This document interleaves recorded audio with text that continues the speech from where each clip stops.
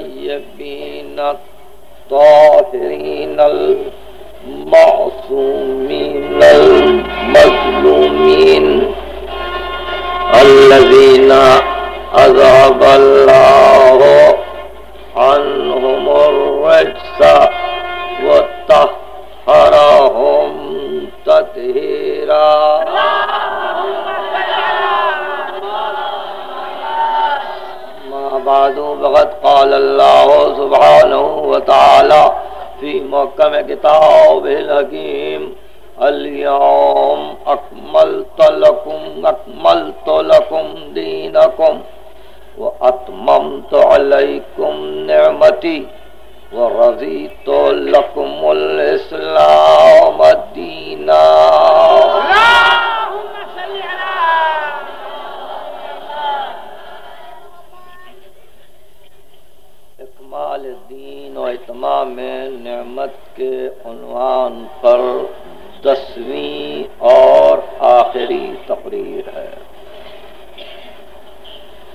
ज़ाहिर है कि आगाज़ तकरीर से पहले ये मेरा खुशगवार फरीजा है कि मैं अपने सुनने वालों का तहे दिल से शुक्रिया अदा करूँ।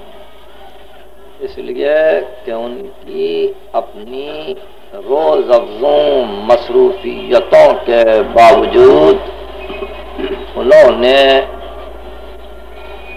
बड़ी जहमत की और अपने इरतबात कलबी इश्तगाल ईमानी का बड़ा गहरा मुजाहरा किया।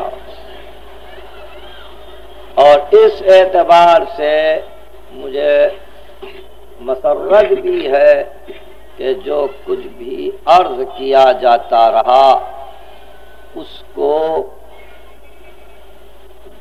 अखलास भरे दिलों ने कबूल करने की भी कोशिश की। मैं अपनी तकरीरों में ये तो नहीं कहता कि बड़ा मोहतात रहता हूँ, बल्कि ये ज़रूर कहता हूँ कि अपनी तकरीरों में मैं जिम्मेदार रहना चाहता हूँ। कोशिश ये होती है कि गुफ्तगु जो भी हो ज़िम्मेदारी के साथ हो।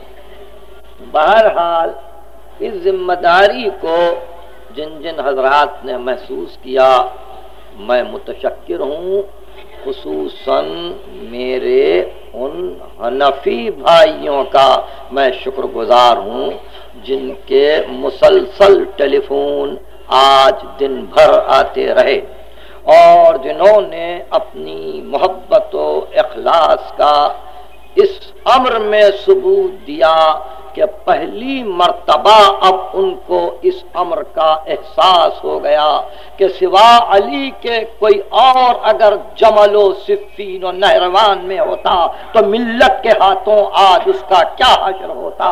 मगर ये उसी की जात गिरामी थी कि जमलो सिफीलो नहरवान के हज़ारों मुसलमानों को तह करने के बाद आज भी अली करम अल्लाह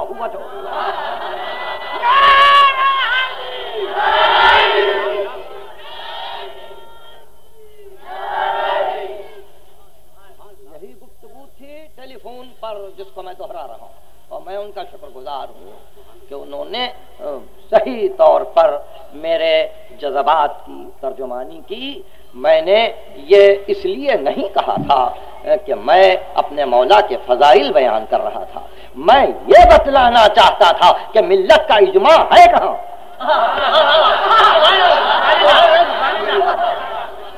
फिर एक मरतबा गौर की इजमा मिल्लत कहाँ है? मैं कुछ पूछ रहा हूँ खिलाफत की तारीख देखिए रसूल के बाद, इजमा नहीं था। फिर उसके बाद, शूरा था। फिर उसके बाद नॉमिनेशन था। इजमा नहीं था। फिर उसके बाद शूरा की मंजिल थी। इजमा नहीं था। इजमा उसी मंजिल पर हुआ, जबकि अमीर मोमिन कहते सब के सब मेरे पास। खिलाफत सालिसा के बाद जमा हुए और कहा अली, अब सिवा आपके कोई और हमारे लिए नहीं है कायद तो आपने कहा दौनी वल्त में सुगैरी मुझे छोड़ो अब भी छोड़ो, किसी और के पास जाओ। जहाँ इतने दिन गुजार चुके, वह और भी गुजार सकते हो। उसके पास जाओ जिसको हवा से मुल्क ममलकत हो।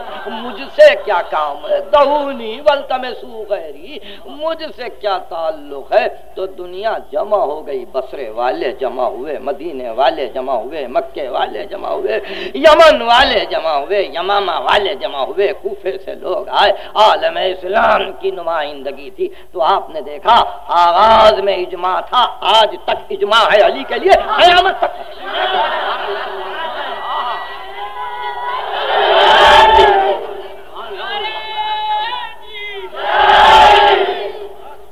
बहरहाल, इन बातों को याद रखिए, मैं, अंदाज़ा मेरा यह था कि मैं शायद यह दस तकरीरें न कर सकूँगा। मेरी सेहत इजाज़त नहीं देती थी। बार सूरत अब ये आखिरी तकरीर है और मैं उनवान का हक अदा न कर सका। उनवान अपनी जगह पर इसी तरह से है, जैसे रोज़े अव्वल था। यानी हम सिर्फ़ दीन के उन हिस्सों से बहस कर रहे थे। कि जहाँ से दीन शुरू होता है। एक माल दीन की मंजिल तो बहुत बुलंद है, बहुत बुलंद है। चुनाचे इसी एक शोबे से फ़ायदा उठा के कल से जिस अभी रिले का ऐलान आपने सुना और मुख्तलिफ़ मकाम पे भी ये रिले जाएगा, मैंने इल्म यकीन का उनवान दिया है कि इल्म यकीन पर ये पाँच तकरीरें होंगी, आजमाएँगे कि हम और कहाँ तक आगे बढ़ सकते हैं। आज की हद तक, चूँकि हम अख्तामी तकरीर कर रहे हैं और एक खास मंजिल तक पहुँचना है, और इसके बावजूद मैं अपनी खस्तगी हो बेचारगी हो कोताही इल्मी का मुखिर हूँ। इसलिए मैं चाहता हूँ कि चंद हकायक आगाज़ में आज आप तक पहुँच जाए। एक सलावत।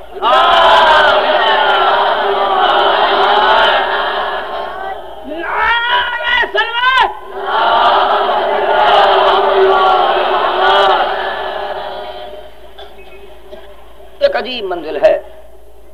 वो ये ये सूरह बकरा में। हज़रत मूसा की कौम के लिए इरशाद हुआ था कि ये फिरके, तबके बारह हिस्सों में बढ़ गए और सबको नहरों पे पहुँचा दिया गया। आयत यह है, कद अलमा कुल्लो उनासिन मशरबहुम. हर इंसान को पता चल गया कि उसके पानी का घाट कौन सा है। वो आयत फकत मूसा के लिए नहीं है, आज भी हुज्जत है। हर इंसान को इसका इल्म है कि कहाँ से सैराब हो रहा है। हर इंसान को इसका इल्म है कि कहाँ से सैराब हो रहा है। अगर ताल्लुक कल चश्म इल्म मारफत से है कि जिस चश्म इल्म मारफत में कोई कमी व कोताही है ही नहीं तो यकीनन आदमी को इसका यकीन है कि वो सैराब होगा, कामयाब होगा, फैज काम होगा और यकीनन उसके लिए वह मलजा, मावा और मरकज सही है। कुल्लासिन मशरब सारे इंसानों को इल्म है कि वो किस घाट से पानी पी रहे हैं। और चूँकि इल्म हिकमत की बातें हैं इसलिए इसके फ़ौरन बाद सूरह बकरा की एक आयत सुनिए। और बड़ी हकीमाना गुफ्तगु है, इर्शाद हुआ, ला तलबेसुल हक बिल बातिल। व तक तुमुल हक व अन तुम तालमून, खबरदार अगर इल्म है, अगर इल्म है तो बातिल को हक का लिबास न पहनाओ। अगर इल्म है, ला हक का बिल बातिल। व तक तुम हक, खबरदार, हक को न छिपाओ। वो अंतुम तालमून, और तुमको इल्म है। आपने देखा, तकाजा इल्म यह है कि बातिल बातिल रहे। हक हक बातिल को हक के साथ शरीक करना। या हक और बातिल में आमेजिश की कोशिश करना। या दोनों में कंप्रोमाइज की राहें ढूंढना, ये नामुमकिन है जब तक के हक को न छिपा दिया जाए। और हमको पता है, और हमको पता है कि हम किस घाट से सैराब हो रहे हैं। हमको पता है कि कहाँ से पानी पी रहे हैं। इसलिए इल्तबा से हक बातिल हमसे नामुमकिन है। हमसे नामुमकिन है। कितमान हक हमसे नामुमकिन है। जो अम्र हक है, उसी को सामने आना चाहिए। और चूँकि अम्र हक को सामने आना चाहिए, इसलिए कुछ याद रखने की कोशिश की जाए कुछ तो समझने की कोशिश कीजिए। एक ही जुमला से ही सारी दस तकरीरें अगर जहन में नहीं तो इस आखिरी एक जुमले को याद रखिए। मासूम फरमाते हैं, अकमलहुम अकलन। अकमलहुम अकलन, अहसनहुम खुलका सबसे ज़्यादा अकल में कामिल वो है, सबसे ज़्यादा जिसके अखलाक अच्छे हैं। इसी जुमले को याद रख। अकमल हम अकलन अहसन हम उल्का। सबसे कामिल अकल में वही है। आप उस जुमले को तो याद रखते हैं ना, मन ला अकला लहू, ला दीन लहू, जिसके पास अकल नहीं है, दीन नहीं है। जहाँ अकल है, दीन है। जहाँ अकल कामिल है, वहाँ दीन कामिल है। इर्शाद हुआ अकमल हम अकलन अहसन जिसकी अकल कामिल है, उसी की अकल कामिल है, जिसका खोल अहसन, बेहतरीन अखलाक का जो हामिल हो, उसी की अकल कामिल है। आदम से लेकर ईसा तक कुरान ने किसके अखलाक का तस्करा किया? जो हक बात, किसके अखलाक का तस्करा किया? आदम से लेकर ईसा तक। आपको ताजुब होगा कि अखलाक के मसले में किसी नबी का नाम नहीं आया है। इल्म में सबका नाम आया है। आदम को इल्म दिया, नूह को इल्म दिया अयूब को इल्म दिया, सुलेमान को इल्म दिया, दाऊद को इल्म दिया, लुकमान को इल्म दिया, ईसा को इल्म दिया, मूसा को इल्म दिया, खिजर को इल्म दिया। अखलाक के साथ किसी नबी का नाम नहीं आया। मिल्लत इस्लामिया सुन रही है? लफ्ज अखलाक के साथ किसी खास नबी का नाम नहीं लिया गया सिर्फ़ सिवा खातम के।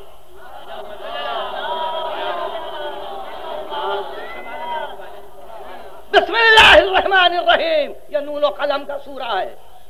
यहाँ का इन का लाला खुलकिन अजीम।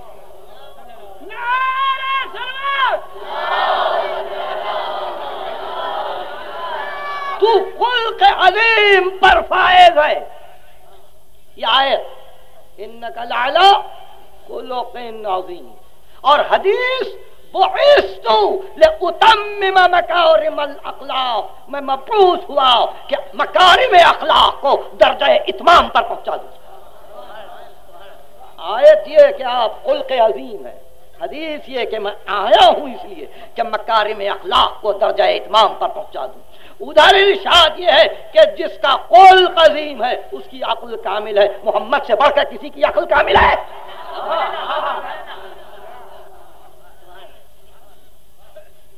अब तो आप समझ रहे हैं ना कि वह अक्ल ही अक्ल अक्ल ही अकल है। और कमाल अक्ल कमाल दीन है। तकाजाए दीन यह है। दीन यह कि अला खालिस। उसके लिए दीन खालिस हो। वाबुदुल्ला मुखलसा, इबादत करो तो इखलास से। माना इखलास ये कि रिया न हो। इखलास की मंजिल ये कि उसकी मोहब्बत में, उसकी राह में तबलीग करते हुए न बेटी आए, न बेटा आए न दामाद आए, न नवासे आए। कमाल अखलास ये है कि जो गुफ्तगु हो, हक के लिए हो, दीन के लिए हो, कमाल कुल की दलील ये है कि खत्मी मरतबत ने खुद कहा कि मैं मकारे में अखलाक के इतमाम के लिए आया हूँ। ये नहीं कहा किसी मंजिल पर कि मैं हिकमत को इतमाम पे पहुंचाऊँगा। ये नहीं कहा कि मैं हया को इतमाम पर पहुंचाऊँगा। ये नहीं कहा कि मैं सदाकत को इतमाम पर पहुंचाऊँगा। ये नहीं कहा कि मैं शुजात को इतमाम पर पहुंचाऊँगा। ये नहीं कहा कि मैं ज़िंदगी की बहुत सी फजीलतों को दर्जा कमाल तक पहुंचाऊँगा। एक खुलासा किया कि मैं मबूस हुआ हूँ इसलिए कि मकारी में अखलाक को दर्जा इतमाम पर पहुँचा दूँ। अखलाक का कमाल, अकुल का कमाल है, अकुल का कमाल, इखलास का कमाल है। इखलास बंदगी ये है कि उसकी राह में, उसकी राह में अब जो जुमला जबान से निकले, उसमें ख्वाहिश दिल ना हो। ख्वाहिश दिल ना हो, जो भी जबान से निकले, अब अपनी तरफ़ से ना हो। और ऐसा रसूल, ऐन अक्ल होकर, अगर अपनी बेटी के लिए यह कहे कि, फातिमा बजा तुम मिन्नी। फातिमा, मेरे दिल का टुकड़ा है। फातिमा, मेरा पारे जिगर है। यही कहा, नहीं, कहा, मन आजा फकद आजानी जिसने फातिमा को अजियत दी, उसने मुझे अजियत वो मन आजानी फकद आजल्ला जिसने मुझे अजियत दी, उसने खुदा को अजियत वो मन आजल्ला फकत कफार, और खुदा का मुजी काफिर। इसमें अखलास है। इसमें मोहब्बत जात नहीं है। यह कमाल अकल है। यह तबलीग की राहों में यह इर्शाद ज़रूरी था।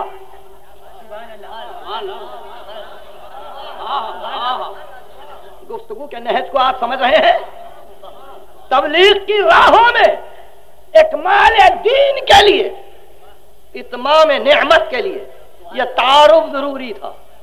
यह तारुफ ज़रूरी था। यह न चाहा खत्नी मतबत के नबुवत के ताल्लुक से गुफ्तगु फरमाए। ये न चाहा खत्मी मरतबत ने कि विलायत के ताल्लुक से गुफ्तगु फरमाए। ये नहीं चाहा खत्मी मरतबत ने कि, मोहब्बत इलाही के ताल्लुक से गुफ्तगु फरमाए। कुछ सिर्फ़ एक जो। बजातो मिन्नी, मेरे दिल का टुकड़ा है। उसको अजियत ना देना। और जिसने अजियत दी, वो कुफर तक जाएगा। इस तारुफ से। क्या कोई ये समझ सकता है कमाले अकले पैगंबर की गुफ्तगु के बाद? कि बेटी से चूँकि मोहब्बत थी, इसलिए कह दिया। अगर मोहब्बत की बिना पे कह दिया तो अखला से बंदगी गया। और अगर नहीं, वही कहा जो मर्ज़ी है बारी थी। तो फिर यही जहरा। मदीने की मस्जिद। और जहरा का खुदबा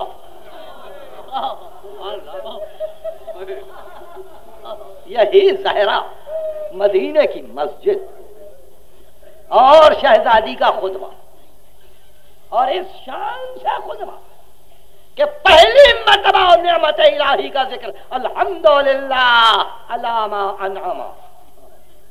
सारे तारीफ़ अल्लाह के लिए है, जो नेमतें उसने नाजिल की हम पर। यह इस घराने का वतीरा है। जहाँ नेमतें कामिल होती हैं, वहाँ मुसीबतों की बिना पर कभी गिला नहीं होता, कभी जहमतों के लिए ऐलान नहीं होता कि हम जहमतों मुतला है, बल्कि बार बार नेमतों का तस्करा होता है। अल्हम्दुलिल्लाह अलामा अनामा वलहु शुक्र अलामा अल्लामा और शुक्र उसी के लिए है जिसने इल्हाम के साथ हमारी ज़िंदगी को आगे बढ़ा दिया। शुक्र अलामा अल्हामा। और यह खुदबा शहजादी का मस्जिद में मस्जिद में मुसलमानों के लिए ये बात हमेशा से साजगार रही है कि उनकी सियासी और मजहबी ज़िंदगी में चूँकि कोई इख्तलाफ नहीं समझा गया, इसलिए वो अपने अहम तरीन मसाइल को मस्जिद ही में बैठकर सोचा करते थे। मस्जिद में खुतबा दिया और खुतबा देकर अल्लाह के तोहीद की गवाही दी। और बतलाया कि तोहीद ताकुल के साथ अपने पदर गिरामी की नबुवत की गवाही दी। और ये कहा, मेरा बाप उस वक्त नबी था जबकि दुनिया आलम आदम में थी। और उसके बाद इस्लाम पे गुफ्तगु की। और उसके बाद बतलाया कि नमाज़ को क्यों वाजिब किया, रोज़े को क्यों वाजिब किया, हज को क्यों वाजिब किया सिल रहम को क्यों ज़रूरी करार दिया, जक़ात को क्यों लाजिम किया, तमाम शराए को बयान किया। शरीयत की इल्लतें क्या है? और उसके बाद बेख्तियार पूछा कि पाँच हालतें हैं, पाँच सवाल हैं जिनको मैं लेके यहाँ आई हूँ। पहला सवाल ये है। पहला सवाल ये कि अम क्या तुम ये कहते हो, अहलो मिल्लतैन लायतवारिसान के दो अलाहदा अलाहदा मज़हब के आदमी एक दूसरे के वारिस नहीं हो सकते? तो अनाब अभी अला वाहिदा। क्या मैं और मेरा बाप एक दिन पर नहीं है? पहला सवाल, मुझे चूँकि एक तवील मंजिल तक जाना है, इसलिए मैं अहम बुनियादों को आपकी फ़िक्र में महकम करना चाहता हूँ। पहला सवाल, दरियाफ्त करती है अम तकूलून। अहलो मिल्लतैन लायतवारिसान क्या तुम ये कहते हो कि दो अलाहदा अलाहदा मिल्लत के मानने वाले एक दूसरे के वारिस नहीं हो सकते? अलस्त अनाब अभी अला मिल्लतिन वाहिदा। क्या मैं और मेरा बाप एक दिन पर नहीं है? क्या जवाब था? क्या जवाब था? आसान तो बात यही थी कि नहीं है। आसान तो बात ये थी कि नहीं, दुनिया नहीं कह सकती थी। न दुनिया फातिमा के लिए कह सकती थी, न दुनिया अली के लिए कह सकती थी, न दुनिया हसन के लिए कह सकती थी, न दुनिया हुसैन के लिए कह सकती थी कि आपका वो दीन नहीं है जो आपके जब का था। मेरी को आप समझ रहे हैं? इसलिए कि जब इसी सवाल की तशरी करबला में हुसैन ने की और पूछा, लेमा तख्तुलूननी व लेमा तस्तहिल्लून दमी? तुमने मेरे खून को क्यों हलाल कर रखा है? मुझे क्यों कत्ल करना चाहते हो? अम अल्लाह शरीयत गैर तो हा क्या मैंने शरीयत में कोई तब्दीली की? अमला दिमाइन सफक तो हा क्या मैंने किसी का लहू बहाया? सब चुप। नहीं, फरसंद रसूल, नहीं। नहीं तो आपने देखा, दीन हुसैन वही है जो दीन मोहम्मद है। दीन अली वही है जो दीन मोहम्मद है। दीन फातिमा वही है जो दीन मोहम्मद है। इसलिए इस इतिहाद इस इतिहाद अकीदा पर नज़र रहे। आगाज़ में, ताकि कभी बात छिड़ जाए तो हम यहाँ तक उस बात को पहुंचाएँ कि उसके बाद से फिर आज तक वही आवाज़ हुसैन की गूंज रही है। अमला शरीयत गैर को क्या आज कोई शरीयत में तब्दीली हुई? पहला सवाल। दूसरा सवाल, अम अला अमदिन तरक तुम किताब अल्लाह वो नबस तुम वरा जहूर कौम क्या अमदन यह तय कर लिया गया है कि किताब खुदा को छोड़ दिया जाए? और उसको ऊपर से पुष्ट डाल दिया जाए?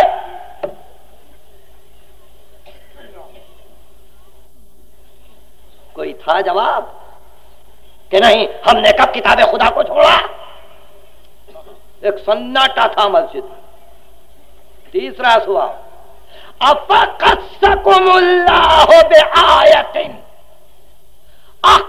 मिनहा अभी क्या खुदा ने कोई मखसूस आयत तुम लोगों के लिए भेजी है कि जिसमें से मुझको, मेरे बाप को और मेरे चचादाद भाई को खारिज कर दिया?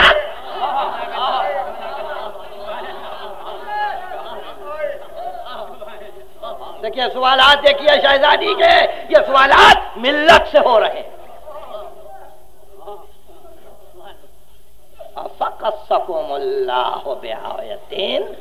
अकराजा में नहा अभी वबनामी कोई ऐसी आयत मखसूस तुम्हारे लिए है कि जिसमें मैं, मेरा बाप या मेरा चचाजाद भाई दाखिल नहीं है अफान तुम चौथा सवाल तुम आलमो बेतावील कुरान व खसूस मिन अभी वबनामी क्या तुमको खसूस कुरान तावील कुरान का इल्म मेरे बाप और मेरे चचाजाद भाई से ज़्यादा हासिल है चौथा सवाल अब पांचवा सवाल और वह पांचवा सवाल, कयामत तक यह सवाल, जहरा का बराबर उस मौज पर जाता रहेगा, जिस मौज गम पर जहरा अपने खुदबे को सुना रही थी। पांचवा सवाल अपा हुक्मल जाहिलियत तब वो क्या जाहिलियत की बातें चलाना चाहते हो? अफहुकमल जाहिलियत तदून उतर आ गए। किसी ने जवाब दिया? सब चुप। उसके बाद कहा अच्छा जाओ, अब इस नाके को ले जाओ। कयामत तक के लिए ये आर के लिए काफ़ी है। कयामत तक के लिए ये जिल्लत के वास्ते काफ़ी है। ले जाओ। ले जाओ। अब मुझे कोई गरज नहीं। मैं जो कहना चाहती थी कर चुकी। कौन है जहरा? बिजातुर रसूल। रसूल कौन है? अकल अकमल। खुल्क अजीम। सिलसिले को देखिए। ये खुदबा जहरा का उसूल में है। हमारे असले उसूल में है। यानी इस खुतबे ने बाद रसूल आले मोहम्मद के लिए राह को मुन किया। गुलामों के लिए नहीं। यानी इस उसूल ने आइम्मा के लिए राह को मुन किया कि तुम्हारी जद्दा माजिदा ने इस राह को पसंद किया। यह दलाइल है यह बराहीन है यह खुदबा है। हज़रत जैदिब ने अली इब्ने हुसैन इब्ने अली इब्ने अभी तालिब से पूछा गया कि जनाब फातिमा के खुतबे के मुतालिक आप क्या फरमाते हैं? का हमारे घराने का रवैया ये है कि हमारे बच्चों को जब हम इब्तदाई तालीम खत्म कर देते हैं तो पहले हम अपनी दादी का खुतबा याद दिलाते हैं। पहले हम अपनी दादी का खुतबा याद दिलाते हैं कि यह खुतबा याद है इसमें सब कुछ है, सब कुछ है। उसूल मुन कर दिए। और असल उसूल को आल मोहम्मद के हवाले किया कि यह बुनियाद है पहला खुतबा मस्जिद में। इस वाक को 24 बरस गुजर गए। चौबीस बरस गुजर गए, दूसरा खुतबा फिर मस्जिद में यह अली का शख्सिया है। और इस शख्सिया में जिस शान से अली ने गुफ्तगु की। मैं ये तो नहीं कहता कि मकाम इमामत किस कदर अहम है। मगर मैं जान रहा हूँ कि अली और जहरा में जुदाई नहीं है। ऐसा मालूम होता था कि जिस फ़िक्र को जहरा ने पेश किया था, उस फ़िक्र से कोई मुख्तलिफ़ फ़िक्र नहीं है शख्सिया में।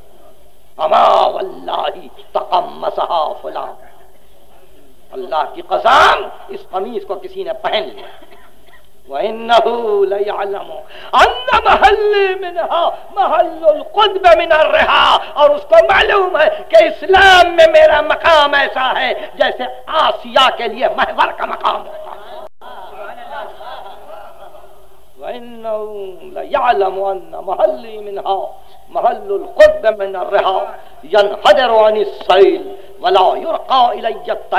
मुझसे एक मौजे मारता हुआ दरिया ज़ाहिर होता है और तायर फ़िक्र मेरी जनाब तक नहीं पहुँच सकता ला तायर फ़िक्र मेरी बारगाह तक नहीं पहुँच सकते कि मैं किस मंजिल पर हूँ बस सदल तो दूनहा सौबा उसने उस कमीज को पहन लिया। मेरे लिए ये तो लाजिम नहीं था कि मैं उसको छीनू। मेरे पास तो अपना लिबास मौजूद था।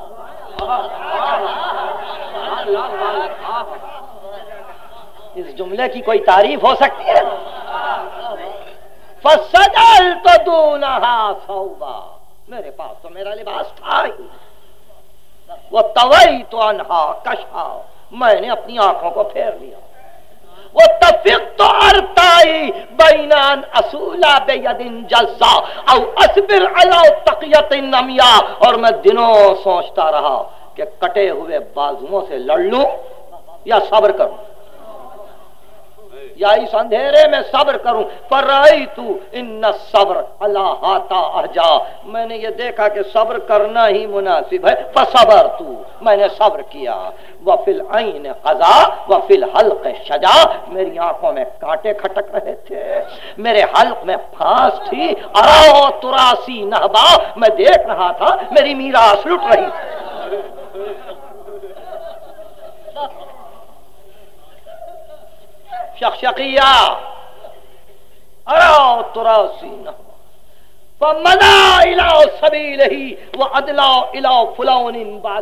जाते जाते उसने इस डोल को के जिससे वह पानी पी रहा था किसी और की तरफ़ फेंक दिया। पर सबर तो अलाओ तूल मुद्दा। मैंने भी एक तवील जमाने तक सब्र किया। वह शिद्दत मेहनत मैंने शिद्दत मेहनत को भी बर्दाश्त सबील ही जब उनके जाने का वक्त आया जालाफी जमातिन उसने इस अम्र को एक जमात में करार दिया और ये ख्याल किया कि शायद उस जमात से मेरा ताल्लुक है।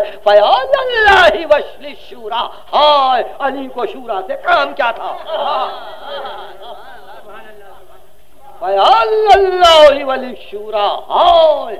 और अली। इस असफु लेकिन जहाँ जहाँ वो उड़े, मैं भी उड़ता रहा। और जैसे जैसे वह ज़मीन पाए मैं भी उनके साथ झुकता रहा।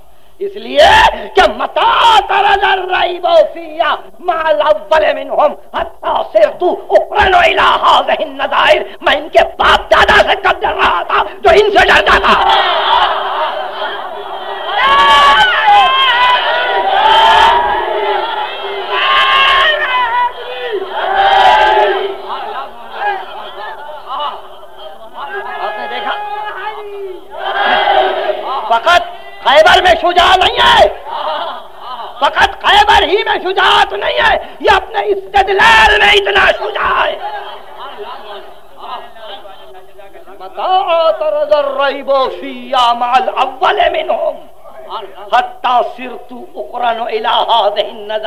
कि मैं इन लोगों से डर जाता।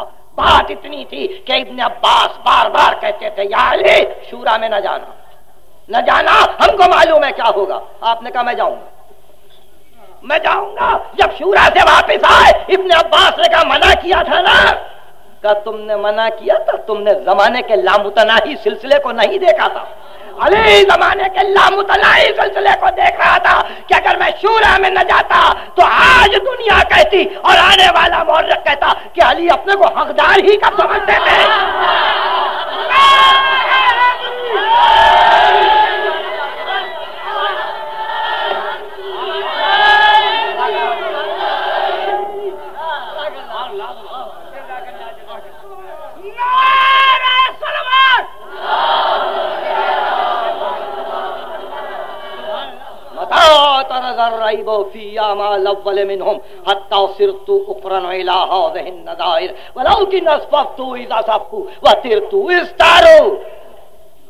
यहाँ तक के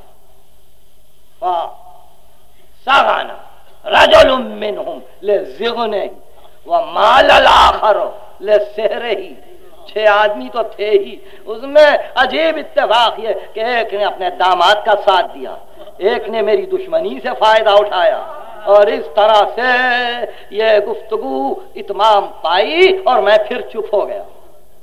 सबर तू, फिर मैंने सब्र फिर मैंने सब्र किया और आज जब के मुझसे यह कहा गया, आज जब से जब मुझसे यह कहा गया कि आ जाओ, मैंने पहले यही कहा।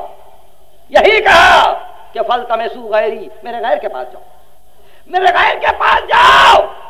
मैं हुकूमत के लिए कह रहा था, गैर के पास जाओ। खैबर में मैंने नहीं कहा कि अलम गैर को दो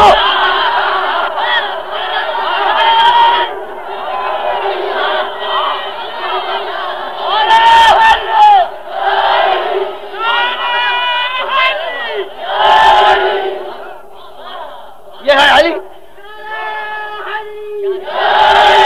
खंदक में अमृत ने अब्दवत ने जब आवाज़ दी और जब मैंने कहा रसूल से मैं जाऊँ तो रसूल ने कहा, ठहरो। तो मैंने बार बार कहा, अना लहू अना लहू, मैं हूँ उसके लिए। मैंने उस वक्त ये नहीं कहा कि किसी और को भेजिए।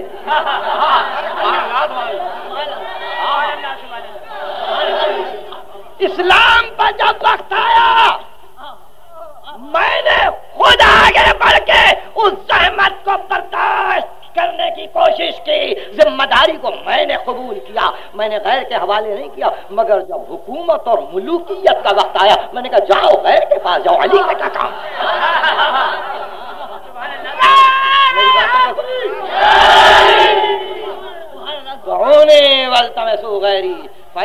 मुस्तकबिलून अमरन। लहू वजूहन वालवान बड़े बड़े वाकयात होने वाले हैं। बर्दाश्त न कर सकोगे। अकलें बर्दाश्त न कर सकेंगी। मुझे छोड़ो। मगर मुझे ये काम दिया। फलम्मा नहस्तु बिलाम्र और जब मैं आके यहाँ बैठ गया नकसत वह मरकत उखरा। वह कसत करून तीन गुरोह पैदा हुए। नाकेसीन का गुरोह आया, मारिकीन का गुरोह आया खासिन का गुरु आया। एक ने बयात तोड़ी, एक ने ऐलान जंग मेरे मुकाबिल में किया और एक ने नफरत फैलाने की कोशिश की। कब? जबकि सब मिल चुके थे। देखिए, ये है मेरे मौला का इस्तेलाम कान लम यसमाऊ कलाम अल्लाह। गोया उन्होंने कुरान को पढ़ा ही नहीं था। वलाकिन वल्लाही कद समऊ। नहीं, खुदा की कसम, उन्होंने सुना था इस हुक्म को अल्लाह के। सुना था और इसकी हिफाजत भी की थी। दौरुल आखिरा। कि ये दार आखिरत उन्हीं के लिए है, उन्हीं के लिए है कि जो दुनिया में उलू और फसाद नहीं चाहते। ला युरीदूना उलुवन वला फसादन फिलाओ वला वल मुत्तकीन। इस आयत को वो पढ़ चुके थे।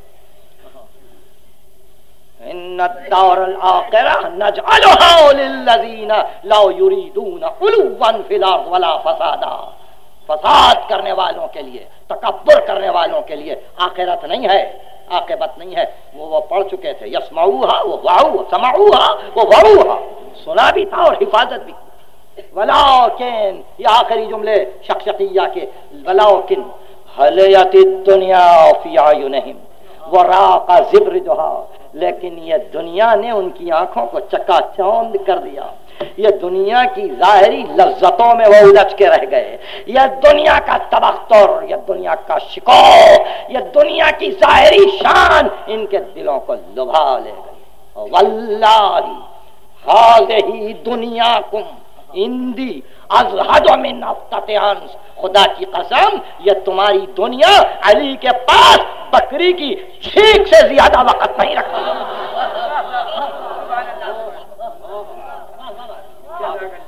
मस्जिद और दूसरा खुदबा फिर मस्जिद और तीसरा खुद दरबार में जगह नहीं थी। दरबार मुख्तसर था शाम का। उलमाए, मकातिल ने तहकीक की। और आज शाम को जाने वाले। उनको मालूम है कि वहाँ उनको बताया जाएगा कि देखो ये आसार हैं, मस्जिद, जाम, दमिश्क, के जहाँ पाँच वक्त रसूल के नाम की गवाही दी जाती है। दरबार वहाँ हो। दरबार वहाँ हो। और ये वो दरबार था कि जो मुख्तसर नहीं था। पहले दरबार को सुन लीजिए। दरबार को सुन लीजिए। आपने सफ़र का चाँद देखा ना?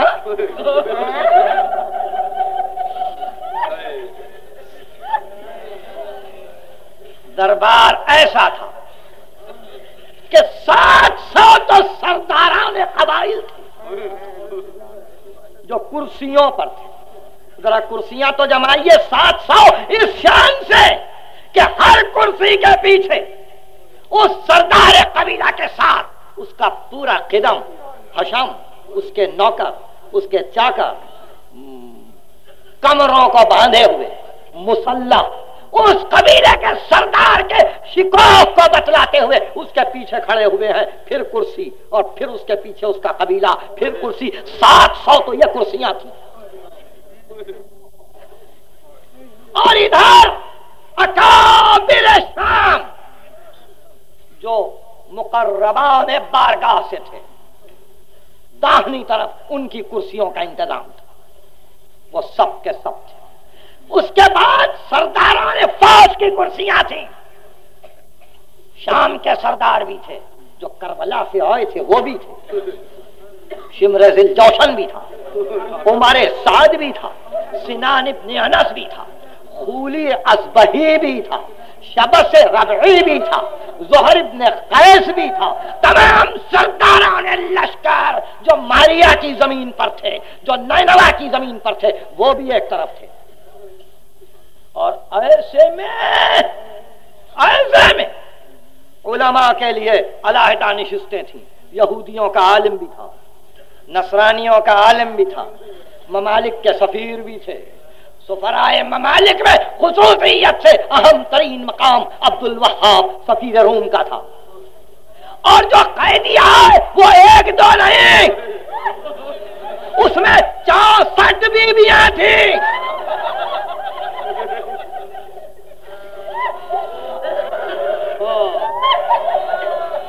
चौसठ बीबियाँ थी। कुछ अंदाज़ा है जगह का? दरबार में, तख्त में और कैदियों के दरमियान शुरा हसीदे लिए हुए खड़े थे। तहनीयतें पेश हो रही थी और नकीब दूरी दरबार की वजह से यजीद के तकल्लुम को पुकार पुकार के सुना रहे थे। हाकिम ये कह रहा है। हाकिम ये कह रहा है कि ऐसे में गुल हुआ, आए, कैदी आए। सुनोगे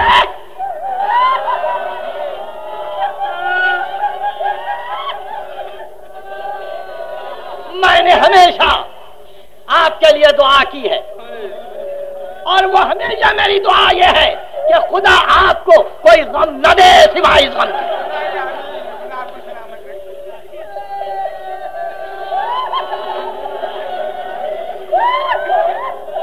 कैदी आए! असीर आए। और निगाह यजीद की उठी। तो सबसे पहले जोहरिब ने कैस ने सरे हुसैन को पेश किया। हाथों में रखे नहीं, तश्त तिला में रखे। उसने सर को देखा और कहा कि अल्लाह ने इसको मारा। जरा दिलों को थाम के तफसील सुनिए। मैं दो खुदबों के बाद तीसरा खुदबा पढ़ रहा हूँ। अल्लाह ने इसको कत्ल किया। उलमाए मकातिल बयान करते हैं कि काफिले को लेके जो बीमार पहले पहले आ रहा था, उसने पुकार के कहा यदीद अल्लाह लानत करे इसके कातिल पर।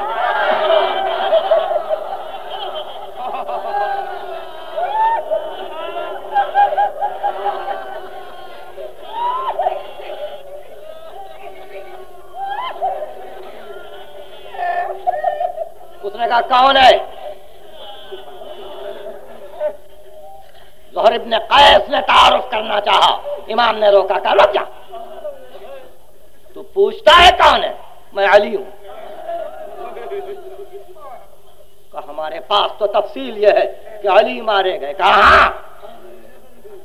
मेरे बाप अपने बाप को बहुत चाहते थे। मेरे बाप अपनी माँ को बहुत चाहते जितने बेटे हुए सब अली जितनी बेटियाँ होंगी सब साथ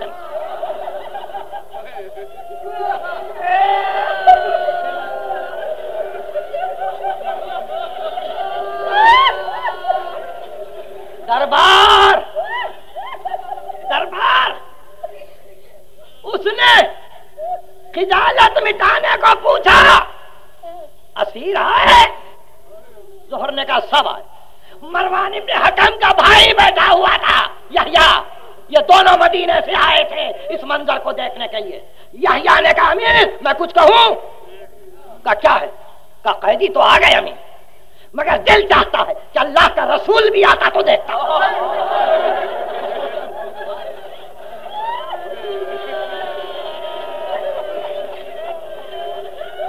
उसने यहिया के मुँह पे तमाचा मारा। का छोड़ता हूँ। मरवान का भाई है। का मुझे छोड़ता है? देख रहा है अल्लाह का रसूल। तेरे दरबार के शिकोह को भी देख रहा है। दरबार के शिकोह को भी देख रहा है। उसने कहा, बाहर निकाल दो। उसको बाहर निकाल। और कहा हाँ ने कैद तारुफ हो। पहले बतला कि ये छोटी बच्ची कौन है?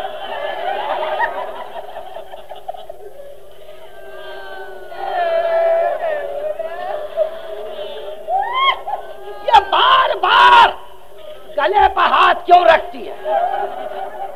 ये एक पाँव को क्यों उठाती है? एक पाँव को क्यों रखती है? गौरव ने कैसे कामिल मीर ये सकीना है। ये हुसैन के सीने पर सोया करती। इसके गले को कस के बांधा है। इसलिए जहमत है। थकी हुई है। रास्ते में जब ऊँट से गिरती तो साथ साथ कारवान के दौड़ती। इसलिए पैरों में इसके वरम है।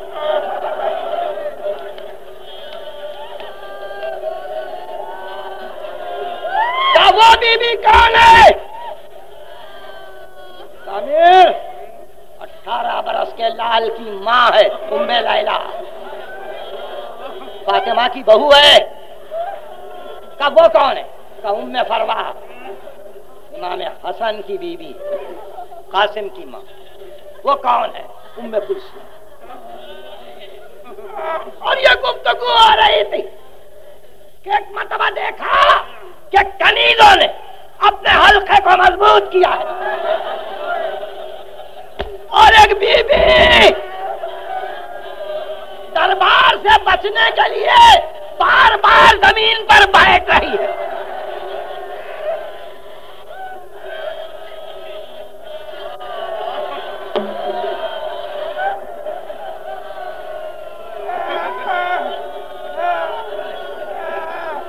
यहाँ नहीं ये कौन है? ये कौन है? मना नहीं। समाज समाजावत जवाब नहीं दी। उसने कहा, मन हा नहीं रहा तो ये मगरूर औरत कौन है? जोहर ने कैस ने आगे बढ़ के कहा, यजीद, आहिस्ता बो आहिस्ता बो यह दरबार अगर पहचान लेगा तो कयामत हो। अभी रहने अभी रहने उसने इशारे को नहीं समझा। और एक मरतबा उस शहजादी ने खड़े होकर कहा, वो क्या जाने, मुझसे पूछ मोहम्मद की नवासी हो।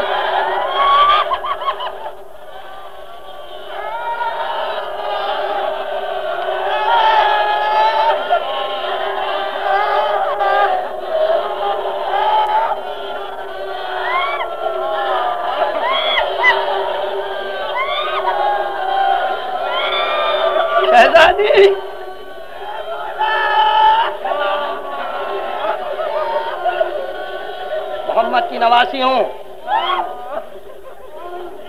यजीद ने कहा कल की तकरीर याद है यजीद ने कहा कुल मालिकल मुल्क तू तिल मुल्क मन तशा मुल्क में मन तशा मन तशा वतुदिल्लमन तशा, बेयदकल खैर। उसने आले इमरान से आए मेरे शहजादी ने एक मरतबा आवाज़ दी।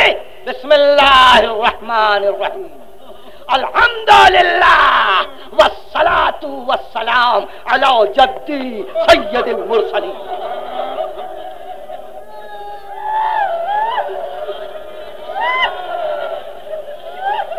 अब मेरा दिल चाहता है, मेरा दिल चाहता है कि उन दोनों खुदबों के बाद मैं उन दोनों खुदबा देने वालों को आवाज़ दू। आओ, फातिमा, अब जैनब का खुदबा सुनो। आओ, अली, अब बेटी का खुदबा सुनो।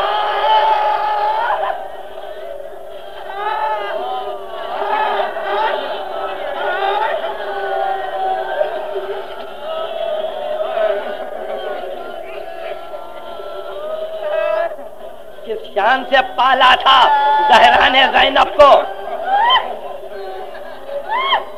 मगर शहजादी फातिमा, आपका खुदबा अधूरा था।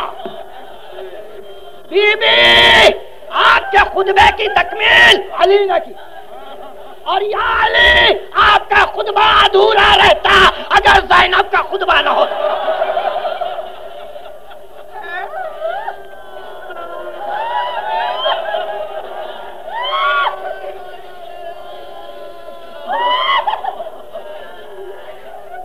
सुनेंगे आप? थोड़ी देर। मैं थकता जा रहा हूँ। तोफीकत इलाही का तालिब। अल्हम्दुलिल्लाह। तारीफ़ अल्लाह के लिए। दुरुद सलाम मेरे जद पर। यह मुल्क मलकूत और जो ताकतों का तू तस्करा कर रहा है, सबका वाहिद जवाब। दुरुद सलाम मेरे जद पर। और उसके बाद शहजादी ने सूरह रूम से आयत पढ़। सूरह रूम से आयत पढ़। और वो आयत इस मकाम से शहजादी ने उसको पसंद की कि उस आयत से पहले इनकलाबात आलम का तस्करा था। उस आयत से पहले यह गुफ्तगु थी जो हमने बड़ी बड़ी ताकतों को खत्म किया। अवलम यसीरू फ़िलहाल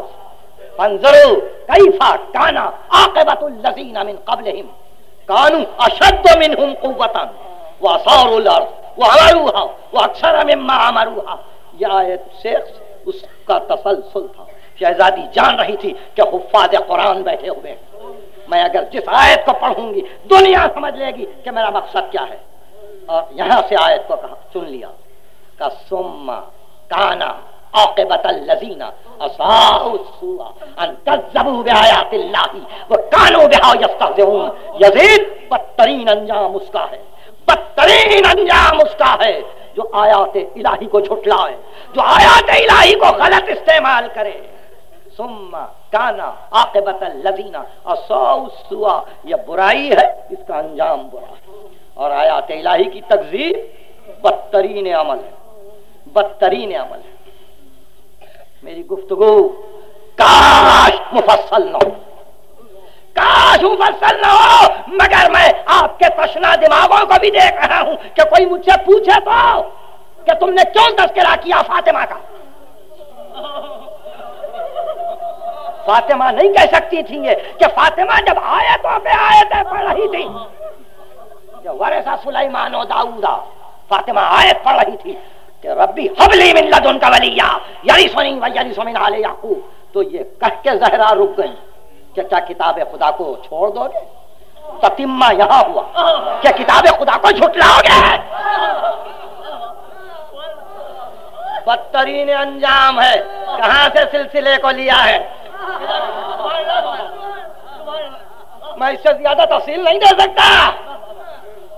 थक चुका हूँ। सुम्मा काना आपके बता लसीना असाउसुआ अन कज़बू बिआयातिल्लाह झगड़ा भैया शुरू से आयात इलाही की तकवीर। जहरा आयतों की तिलावत कर चुकी है।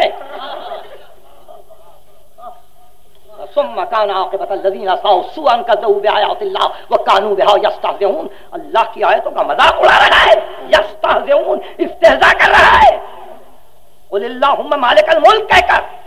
अरे मुल्क तो उसी को दिया। फकद आतना आल इब्राहिम अल किताबा वल हिकमता। वो आतना हम मुल्क नजीमा आल इब्राहिम को किताब दी, हिकमत दी, मुल्क अजीम दिया। मुल्क अजीम के लिए इल्म लाजिम है। अरे जाहिल। मुल्क का दावा करता है। और ये कहता है, जिससे चाहता है खुदा मुल्क को छीन लेता है। तो अगर मुल्क के यही माना है कि शाम की हुकूमत मुल्क है तो हुसैन के पास वो कौन सा मुल्क था जिसको खुदा ने छीन लिया?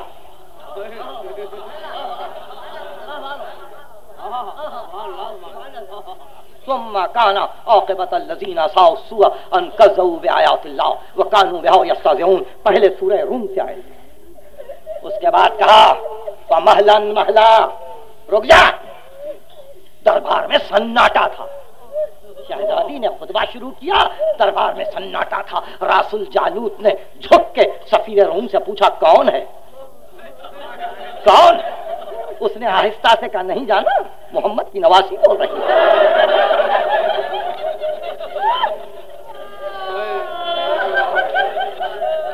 मोहम्मद की नवासी बोल करबला, फुरात, नैना, मारिया कूफा रास्ता। सब एक तरफ़ शहजादी ने जो जहाद किया है, वो एक महलन महिला, बलाओ तच्छे जहला, रुक जा, जहालत की बातें न कर। देखा आपने? वो इल्म का तस्करा, ये जहल की गुफ्तु महिला, बलाओ तच्छे जहला। नसीता कौल अल्लाह क्या तूने अल्लाह के हुक्म को भी नजरअंदाज कर दिया? भुला दिया अल्लाह के कलाम को। अब दूसरी आयत पढ़ रही है, आल इमरान से। जहाँ से रजीद ने आयत को पढ़ा उसी सूर्य से आयत को लिया, मगर अब जिस आयत को लिया, फिर उसकी एक नई शान थी। उस आयत को लिया तो इनकलाबात आलम के सिलसिले की आयत को लिया, कि हमने बड़ी बड़ी ताकतों को पछाड़ दिया है। और अब जो आयत को लिया तो वो आयत ये थी कि जिसके बाद का तस्करा ये था कि ला यजर ला यजर मोमिनीन मान तुम अलई खुदावंद आलम, साहिबान ईमान को इस हालत पे नहीं छोड़ेगा। यमीन अल खबीस, अमीन तक के पहचानत हो जाए कि खबीस कौन है तैयब कौन ला अंतुम अलई अल्लाह इस हालत में नहीं छोड़ेगा। उस सिलसिले से आयत को लेके कहा कौल अल्लाह अल्लाह के कौल को भुला दिया। जब खुदा ये कहता है, ला यहसबन अल्लजीन कफरू। अन्नमा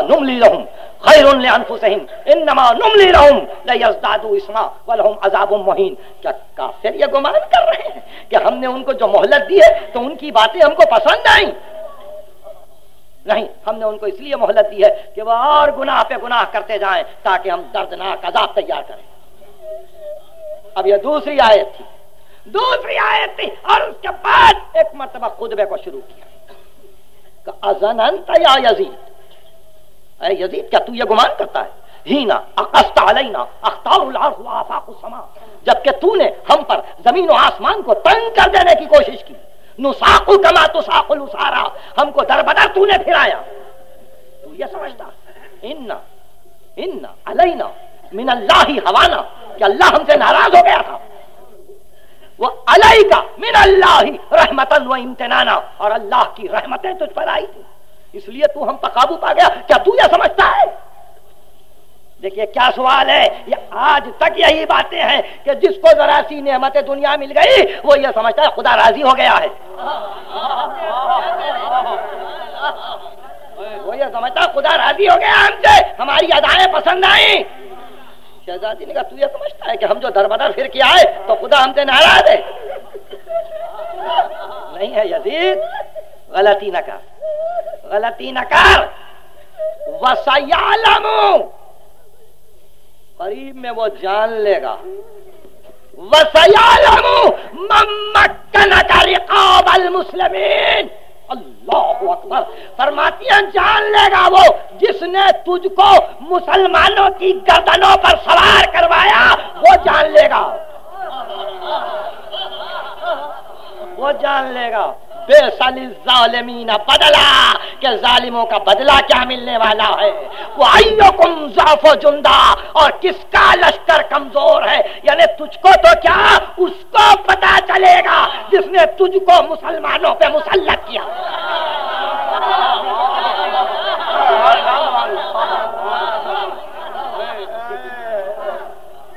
आपने देखा?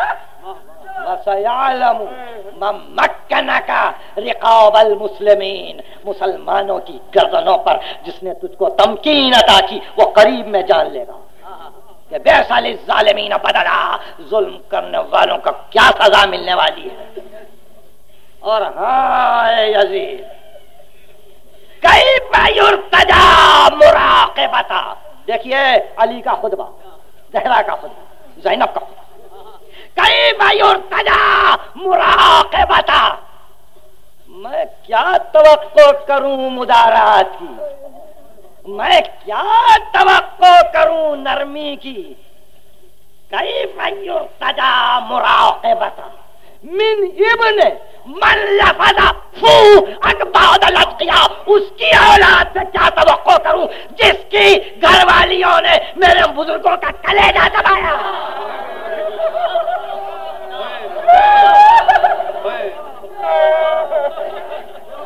और क्या तो कर?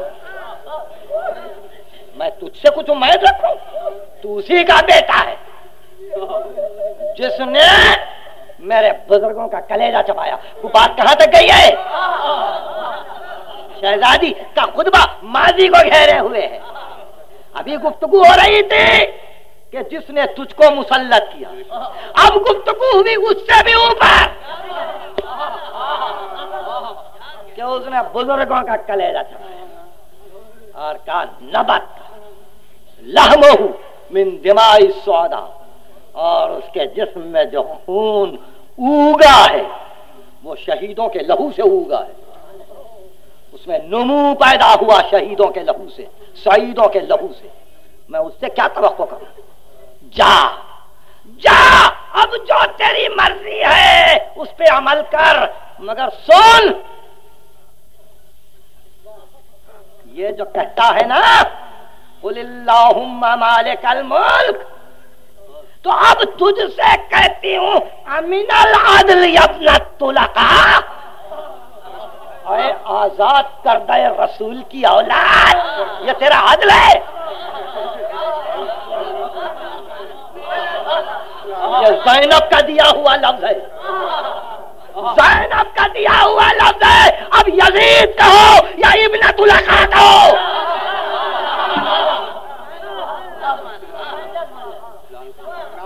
अमिन अदल तुलका आज़ाद कर दे रसूल की औलाद। मालूम है ना? फतेह मक्का। अबू सुफियान लिपटा हुआ है रसूल के पाँव। तो बेख्तियार रसूल ने कहा, फजहबू, जाओ लाओ तसरीब अलैकुमुल आज रसूल को तुमसे कोई काम नहीं, तुमको डरने की ज़रूरत नहीं। फजहबू, अंतुम जाओ, मैंने तुमको आज़ाद किया। वो फतेह मक्का का रसूल का खुदबा बहसियत फाते के।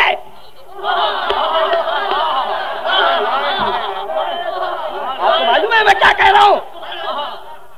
पॉलिसी को डिक्लेयर करता है फाते। खुतबा देता है फाते। हुसैन मर गए, फतह जैनब की। फतह जैनब की। कभी दादी का तस्करा करे, कभी बाप का तस्करा करे, बुज़ुर्गों का तस्करा करे। आपने देखा किस किस के तस्करे हो गए अब तक? वसयालम मक्कन का कई मिन और तुलका। और का अमिनल अदल